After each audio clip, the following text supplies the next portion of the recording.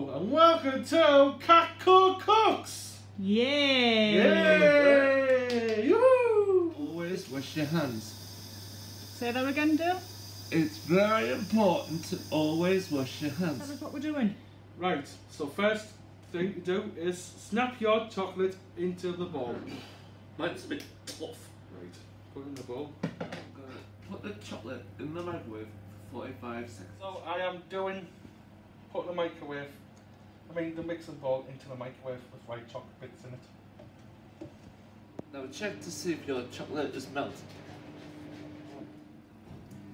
Got it. Ah.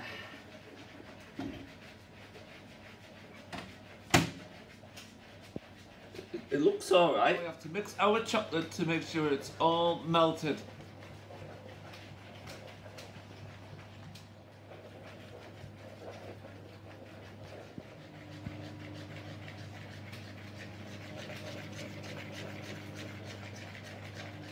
Dip your Oreo into the melted chocolate and then dip into the decorations. So first off, get an Oreo. Do not put the whole melted chocolate in. So you can put it like that. Doesn't matter if you snap it. Because everyone makes mistakes. First practice.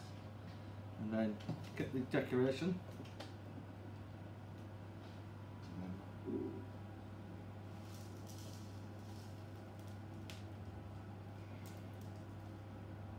Brilliant.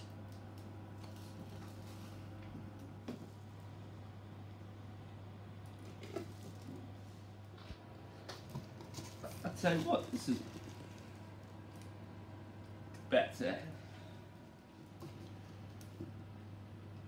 Now we finished made the spring Oreo did biscuits, it's time to wash up the pots. Get started. Right, pink bowl. So we need to make sure everything's all clean. I'm washing the pink plate. I'm helping Reece by drying the dishes. Now we finished dry, wash up and dry the pots, it's time to wash the tables. To make sure they're clean.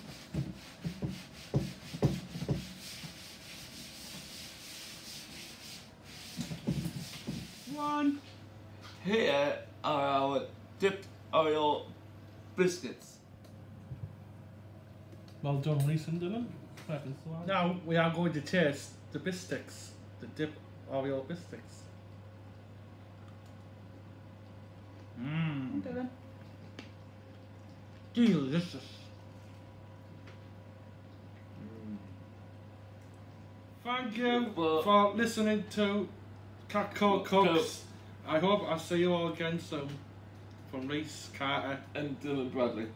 Yay! We are happy together. Well done, guys. Yay!